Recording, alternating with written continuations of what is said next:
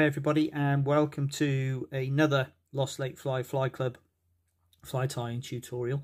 Um, for this tutorial I'm going to be tying one of my favourite river uh, shrimp patterns um, but it does work very well in, in um, still waters as well um, so there's no reason why it's just a river pattern. Um, I call it the Itchen shrimp. Um, it's taken quite a few fish for me over the last couple of seasons on the River Itchen and the River Meon. Um, but um, it is definitely one to have in the box. So um, here we go. So I'm going to start off. Um, I've got um, a fulling mill uh, Czech nymph hook, the uh, 5065, um, and I'm going to put on a lead underbody to give it some give it some mass. So I'm going to put about 15 turns of lead. So uh, one, two, three, four, five, six, seven, eight, nine. Just going to compress them 10 11 12 13 14 15 now you can put as much or as little as you like on to be fair. Uh, it depends on how heavy you want it to be. Uh, but I want this one to get down quite quickly into the target zone um, when I'm looking at a group of fish. So um, for this particular fly again I'm going to use um, red um, Semperfli Spyder Silk, um, 12 volt. Um, and I'm going to start right up at the eye by here, and I'm going to lay on a foundation of tying thread. And little trick here, I'm just going to push the lead up so it butts into where my tying thread finishes.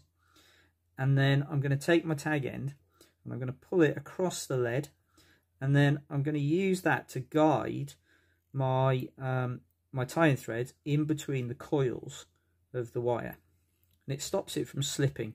I tend not to use um, super glue and things like that um, purely because I end up super gluing my own fingers to, to everything. Um, so um, it's my own preference.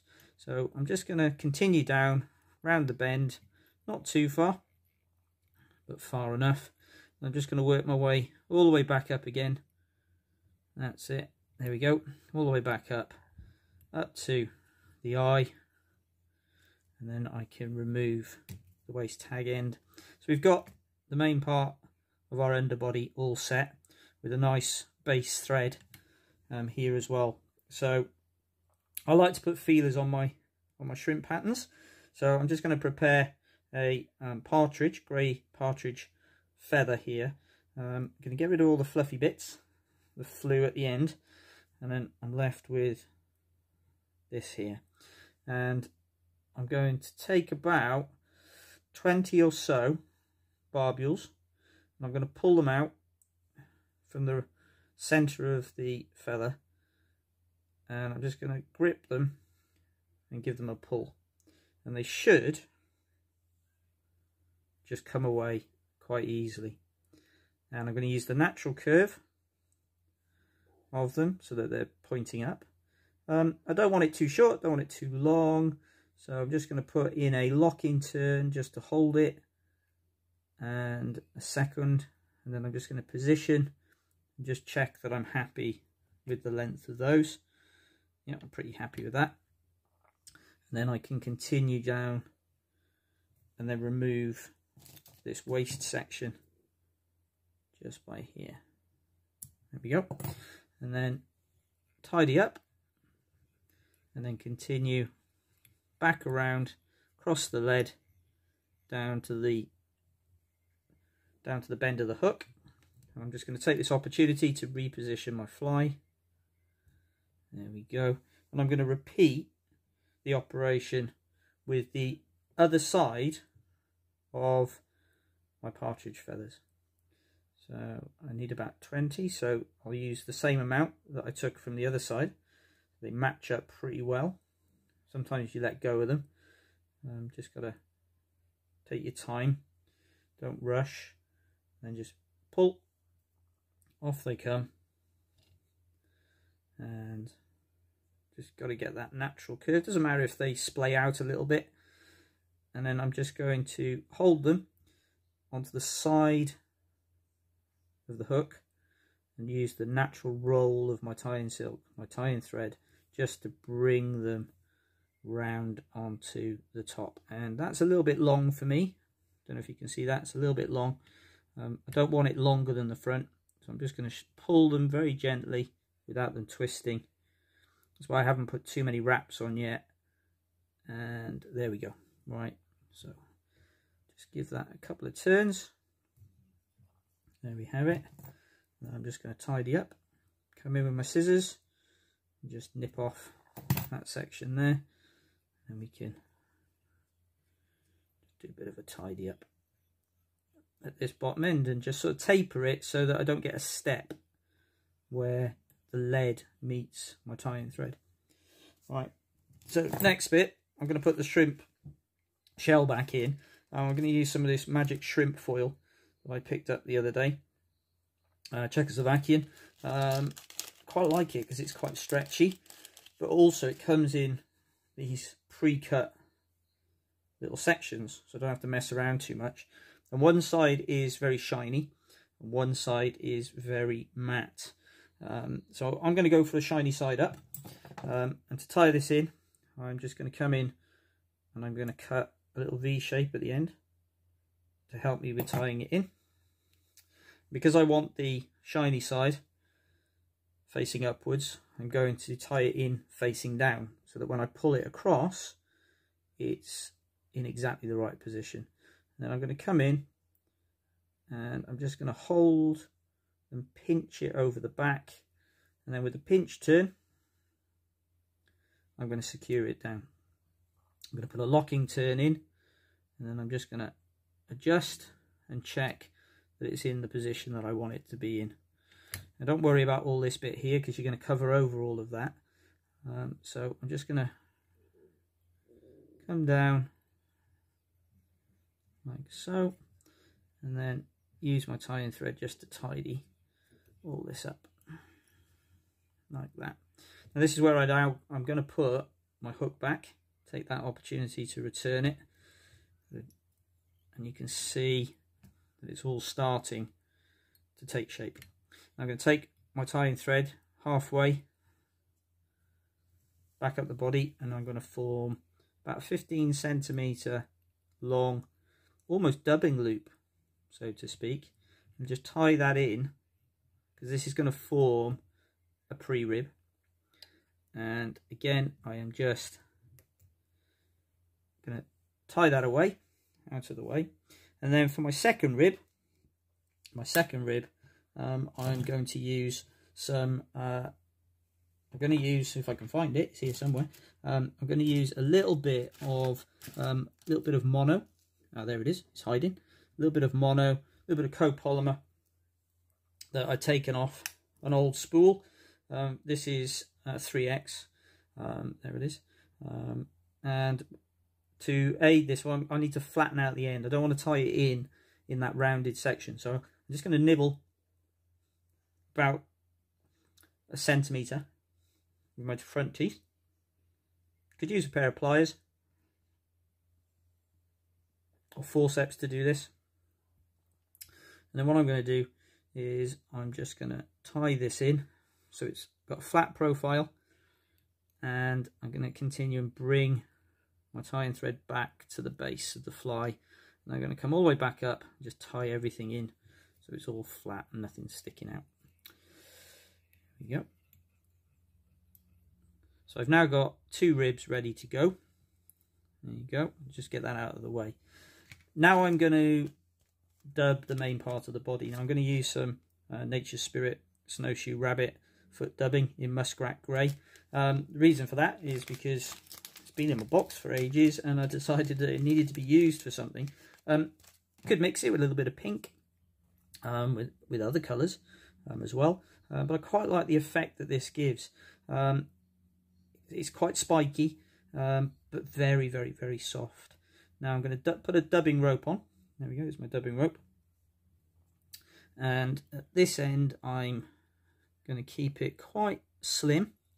But as I move up into the center of my fly, I'm going to overdub a little bit because I want the middle bit to be quite quite bulky compared to the front and the back. So there we go. And just gonna, I'm not taking too much um, time out to just um, tighten up my dubbing um, noodle. Um, or make it look really special at this point because that comes in a bit. As we get down towards the front okay we've now got just a little bit more there I think. We've now got quite a a chunky looking shrimp type shape. And I'll just there we go. Just put another turn there. Turn. You can see that I'm just pushing it down with my fingers just to make sure that all the fibres are where I would like them to be rather than rather than just leaving them flay out all over the place. Um, I'm just going to give it a bit of a rub and a push down on the sides because I want all those fibres to be coming out down the bottom as much as possible. If I've got too many sticking out the top, I've got a couple there, I'm just going to give her a little haircut. Don't be worried about doing this. I've got very sharp scissors here. I might just give a little trim just down the sides as well because when I'm putting resin on a bit later on um, those little fibres there they really do get in the way and, uh, it spoils the look of the fly and you'll get very frustrated with it. Um, so better to deal with them now than deal with them later on. So there we go. We got that in place. So now I'm going to take my uh, shrimp foil and very carefully I'm going to stretch it over the top of my fly of the shrimp. Because it's stretchy I can make it quite uh, quite wide or quite thin just by a pull. So I'm just going to make give it a little pull so I don't want it too wide. And then I'm just going to loop over my tying thread and loop over again and just have a little check. And just check that it's in the position that I want it to be in. It's all looking particularly good. And then I'm going to put in one two more turns. It's always good to do that with this stretchy um, materials because they do tend to ping back and suddenly they've gone from underneath your tying thread so just remove those and then just tidy up a little bit here now you're going to do most of the tidying in a minute but that's all good so we're at this stage where it's definitely looking like a shrimp now. Now, this is where my double ribbing comes in, um, because this is going to give me a bit of colour, but also a bit of strength. So the first rib is going to be the thread, um, the doubled up thread that we uh, put in earlier. And what I'm going to do is I'm just going to come in and across the back, I'm going to go up, across, not too much pressure yet, but when I come to the other side, that's where I'm going to pull down.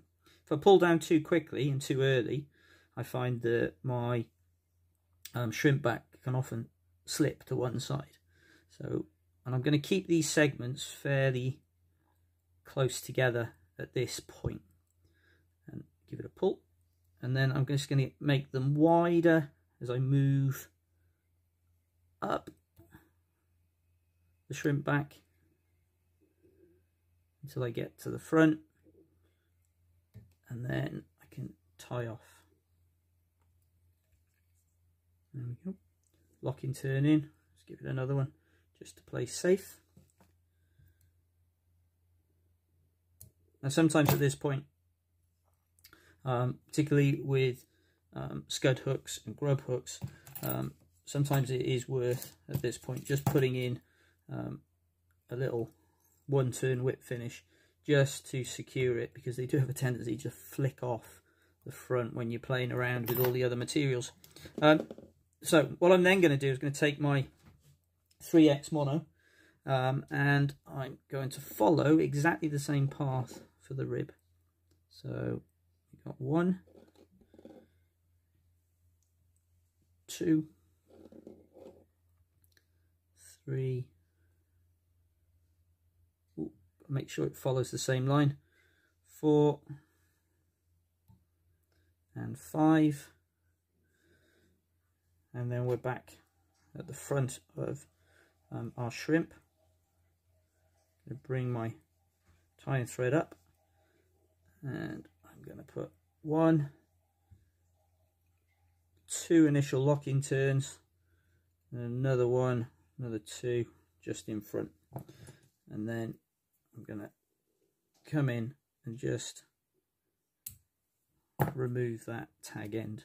So you can see definitely got a shrimp starting to appear here. So now I can tidy up the head. So I'm just going to build up my head from the right from the front. Give it a nice taper. It might not look perfect yet, but we are going to put some resin on here, so it will actually taper it all in. And at this point, I can now whip finish. One, two, three, four.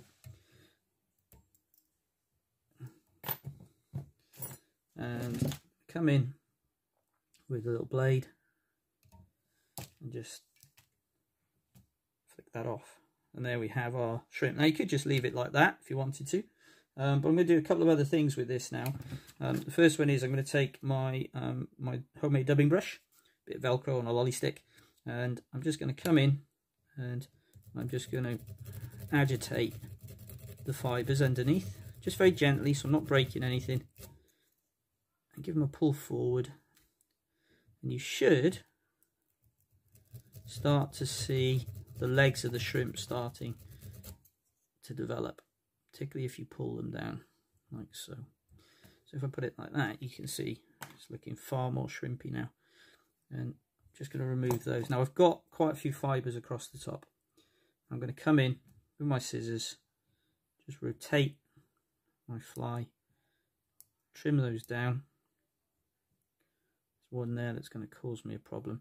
Because when I put resin on here, that resin's going to going to use that as a guide, and you end up looking like you've got a great big flagpole sticking up, and you'll get frustrated with it.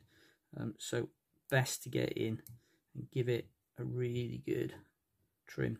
what I'm then going to do is turn my shrimp upside down. Make sure I've got these fibres where I want them. I'm going to come in at 45 degrees from the from the eye to the hook point and I'm just going to trim the legs. There we go. So that they're tapered down. Still got a few there. Now that should do. That should do. Now the next stage, um, I'm going to use um, a marker pen. So there's my marker. Um, it's a Winsor & Newton Pro marker. Um, it's uh, rose pink. Um, and the good thing about these markers um, is that they've got a, um, a bullet point as well as a chisel point. Um, I'm going to use the chisel point for this because I get a better build-up of colour. But the bullet point is really good for tiny little sections. What I'm going to do is I'm just going to dab this on. I don't want a, a really strong pink colour. What I want is a gradual build-up of colour that gives it sort of a Turkish Delight pink. That's the way I like to think about it. Um, and I'm just going to colour those in. Now if I leave it like this, all that will fade and come off over time. So what I like to do with my shrimps to also protect them is I like to give them a coating of um, of UV resin. Now this, the UV resin I'm using here um, is uh, is Gulff Classic um, Thin Man would be good, um, but I do quite I do like this. It, it, it, really is clear and it and it does um, harden really quickly under the UV under UV light. So um, what I'm going to do is take a little piece, little bit. I'm going to add it onto the, the tip of a needle. Gives me more control. There it is. So I haven't actually put it directly onto the fly yet.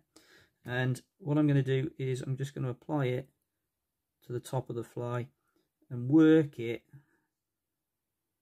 around. Now a little bit goes a long way. So take your time. I'm going to come over the over the head and start to build that up into the shrimp profile. If you need a little bit more, this is where the control comes in it's always worth having ooh, it's always worth having um, a little piece of kitchen roll or something with you that you can just get rid of some as well. I'm just going to add a bit more on. You just keep keep going until you're absolutely satisfied. Um, at this point, you can still take some off. Just clean your needle off and just give it a little brush over and just remove some of that resin. Okay, so there we go. Then I'm going to come in with my torch and give it a blast.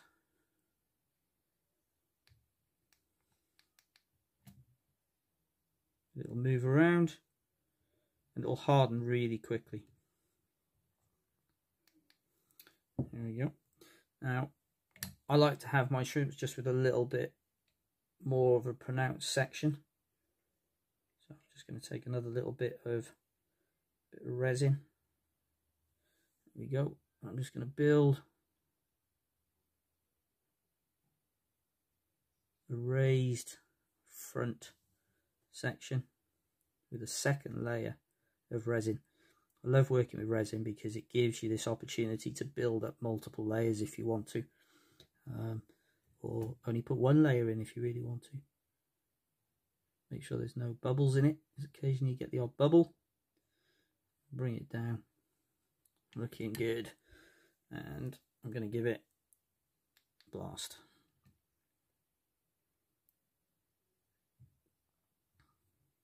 There we go. Make sure I put the lid back on the UV resin. Put that just out of the way. And then the final piece, and I don't really need to do this, but I always have done, is I just take my Sally Hansen hard as nails and I just give it a little wipe over some Sally Hansen just to give it that extra shockproof, bulletproof section. And there we have it. That's the Lost Lake Fly Itchen shrimp. Um, can do them in lots of different colours. Um, really effective in really small sizes, particularly in the river. Um, and uh, definitely if you put a tungsten um, shrimp back on it and glue that in, you can get a really, really, really heavy depth charged um, scud that will actually hit the bottom.